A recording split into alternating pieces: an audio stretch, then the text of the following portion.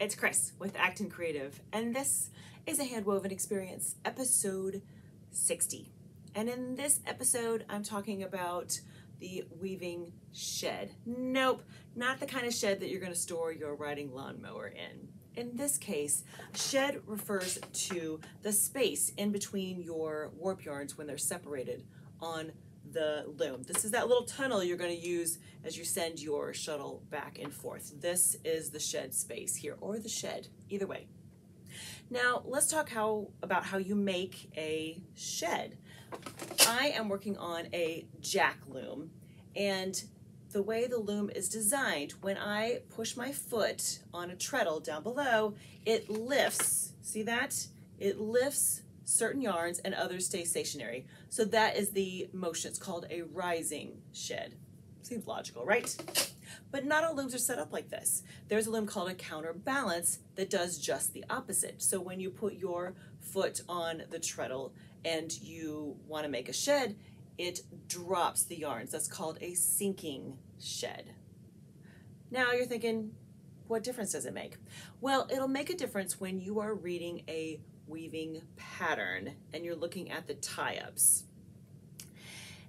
They will indicate different things if it's if the yarn is dropping or if it's rising. So just pay attention there as you're looking at your weaving pattern. See if you can find information about if it's written for a jack loom or a counterbalance, which will say a rising shed or a sinking shed is typically the terminology they will use. Couple other things for you. First of all, you might have heard a weaver say they're clearing the shed. Have you heard that phrase?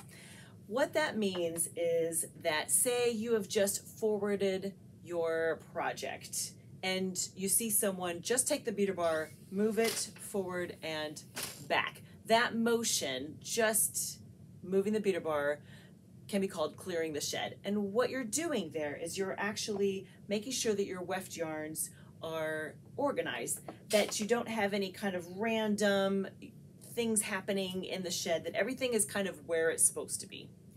But you can whip out that phrase at the next uh, trivia night, just in case anyone hasn't heard that. Clearing the shed, you can use that one.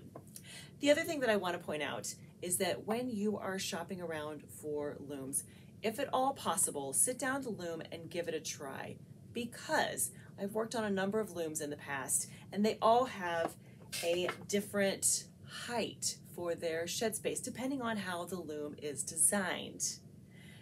And it can be kind of frustrating if your loom creates a really short shed space and your shuttle, you struggle to move it through each pass. So just be aware of that, that not all looms are created the same, which seems like a really obvious statement.